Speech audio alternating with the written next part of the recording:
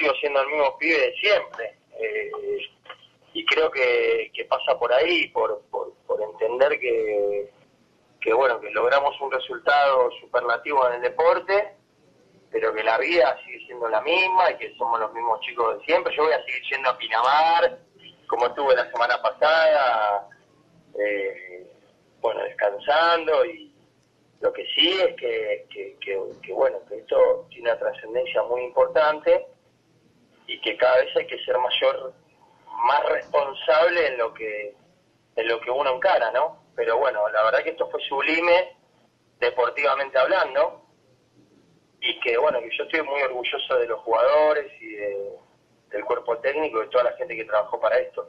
¿Cómo se hace para renovar la motivación, Chapa, como para continuar quinta a fondo? Eh, bueno, ahora hay sexta y séptima en los autos, ¿no?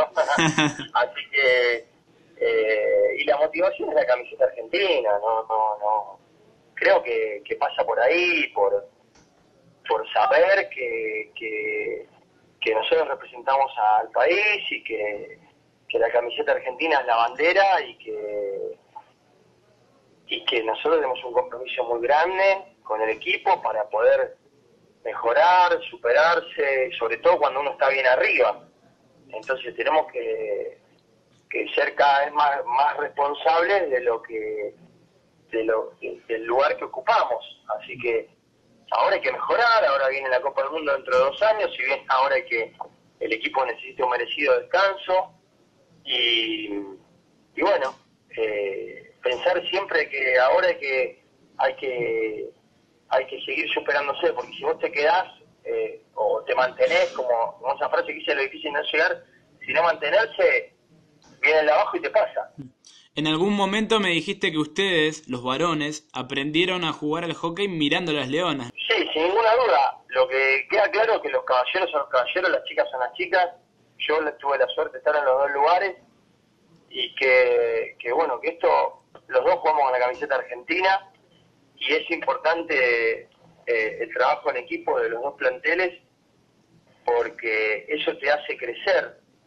Eh, y tanto las chicas como los chicos se necesitan porque somos el mismo deporte y, y la verdad que me parece que está bueno que sea plural y que, que las chicas aprendan de los chicos, los chicos de las chicas y que entendamos de que es el mismo deporte, que, que nosotros está por sobre el yo y que, que es muy importante eh, entenderlo de esa manera para, para que vaya todo mejor.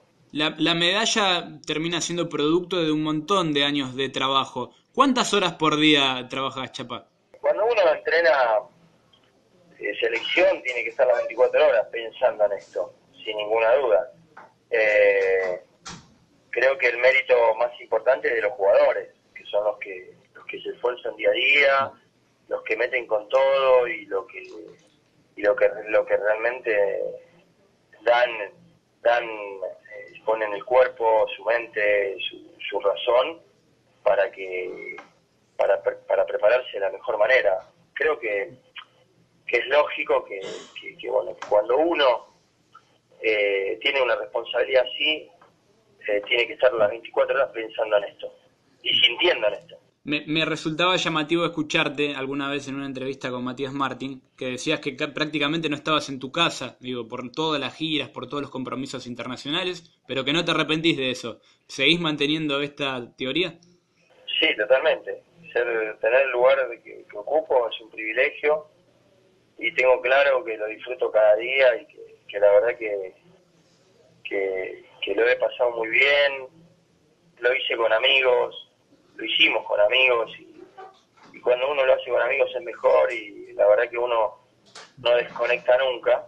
Así que bueno, la verdad que disfruto y lo comparto con todos. Muchas gracias Chapa por el contacto, a seguir trabajando, a seguir eh, recibiendo reconocimientos como el que recibiste de Salta. Eh, así que a disfrutar también, porque no es cosa de todos los días tener una medalla de oro colgada en el pecho.